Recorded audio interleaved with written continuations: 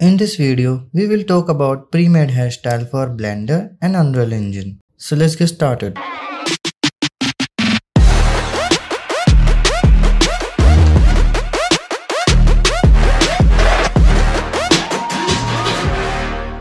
For pre-made hairstyle, open the website from the link given in the description. By opening my link, you can get 25% off on all products. Now let's go to Pixel Hair.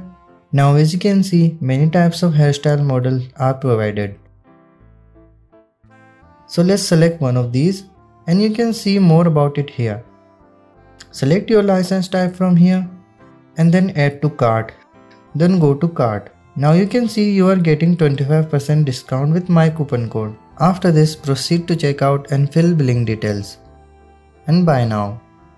Now let's quickly understand how to take it in the blender. So let's go to the file and append downloaded file. Now go to object and append scalp 003. After this, we will select this scalp and hide all the particle system layers for smoother viewport.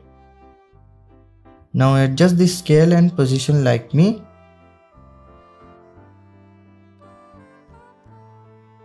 After this process, let's go to modifier and add shrink modifier to the top. Now target with your model. After this, unhide the layer.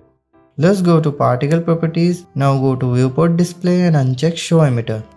And that's how you can achieve this type of result. You can customize your hair shapes from particle system tab. For more information about pixel hair, you can click here and watch video. And one more thing, there is a realistic character creation course also, which will help you about 3D character design. You can also get 25% off on this course with my given link. Hope you have learned something new. See you in the next one.